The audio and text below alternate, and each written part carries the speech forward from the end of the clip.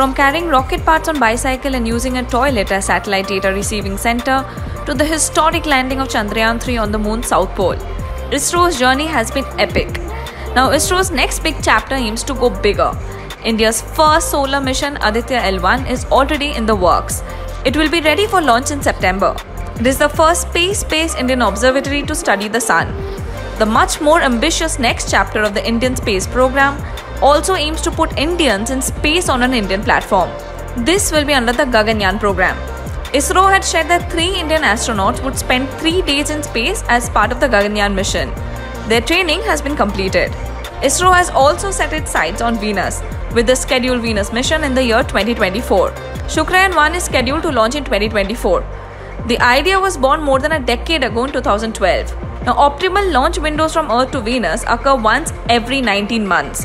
This is why ISRO has backup launch dates in 2026 and 2028 should it miss a 2024 opportunity.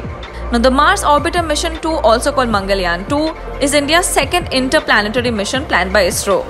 ISRO plans to launch this mission by 2024. NASA and ISRO have also tied up to put together a powerful Earth observatory satellite. NISAR, NASA ISRO Synthetic Aperture Radar, will track the movement of Earth's land and ice surfaces in extremely fine detail. NISAR will map the entire globe in just 12 days. Now, ISRO has a long list of upcoming missions aimed at exploring new frontiers in space. Looking back, the Indian Space Odyssey has come a long way. Well, it may surprise some of you to know that ISRO was actually formed way back in 1962. It was then called the Indian National Committee for Space Research under the leadership of Vikram Sarabhai. In the following year, it was replaced by the Indian Space Research Organization ISRO. Now, the earlier days of ISRO were full of struggles, with limited resources and funds. Before India's first rocket launch, certain parts were even transported on bullock carts and bicycles at times. However, ISRO's journey has been marked by significant achievements. Now, within a year of INCOSPAR's establishment, India launched its first rocket for upper atmosphere investigation in 1963. India's first satellite Aryabhatta was launched on April 15, 1975, with the assistance of the Soviet Union. ISRO then developed its first launch vehicle, Satellite Launch Vehicle 3 SLV 3, which launched the Rohini satellite RS 1 on July 18, 1980. In 1981, ISRO launched its first indigenous satellite, the Apple Experimental Satellite. There were resource constraints leading to parts being transported by bullock carts. Now, in 1984, India sent its first Indian citizen into space.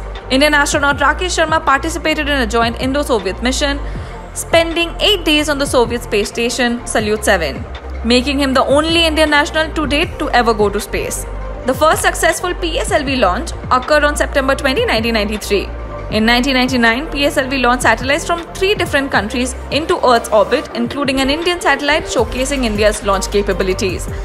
In 2001, GSLV was used to launch an Indian satellite into geosynchronous orbit, and later in 2008, it carried Chandrayaan 1 to the moon. During Chandrayaan 1 in 2008, ISRO discovered water molecules on the moon's surface. In 2013, ISRO successfully launched the Mars Orbiter mission Mangalyaan, which was inserted into Mars orbit in 2014. Afterwards, in 2019, ISRO launched Chandrayaan 2, though the lander Vikram lost communication during the landing. Now, with the successful landing of Chandrayaan 3, India becomes just the fourth country in the world to reach the moon. It is also the only country to land on the south pole of the moon. Now, despite the challenges, ISRO's achievement have brought immense pride to India.